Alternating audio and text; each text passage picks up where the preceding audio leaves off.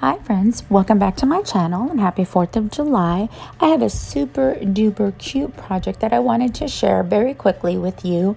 Um, I'm headed out the door, but I could not wait to show you what I have put together. This is an Alinacutle heart keychain. I believe it's one of the newer ones. I hope you enjoy my very, very fast um, upload and uh, let me know what you think. Thumbs up if you like this. Please subscribe and hit the bell to be notified of all new uploads. I hope you guys are having a great day today. Bye.